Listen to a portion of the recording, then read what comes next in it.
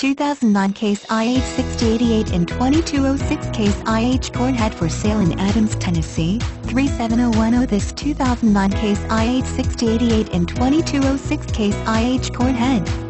Pro 600 monitor 262 receiver, HID-bin extension could be yours for $145,000 in great condition with 1600-1200 separator hours, regular maintenance, and beta TLC this combine has served us well. From our family to yours we're certain this 4WD with 325 horsepower superstar will do the same for you.